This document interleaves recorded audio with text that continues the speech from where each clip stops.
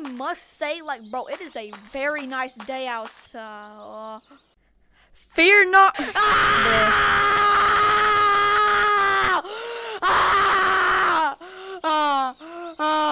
You done, bro? Are you done?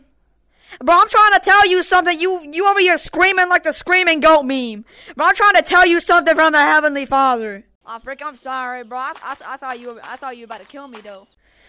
Thank you. All right. Anyway, uh, yeah, I got a message for you from the Heavenly Father. You know, created you. You know what I'm saying? Great dude. But anyway, uh, you did. Oh, okay, bro.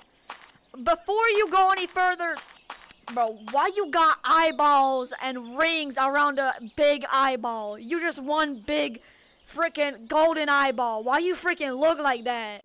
Nah, bro, you ain't gonna, bro, you ain't gonna judge me like that. I don't look like that. Like, bro, I may look scary, but you ain't gotta freaking scream over it. Dang, you scream louder than Post Malone. Yeah, bro, I'm sorry. I'm sorry though.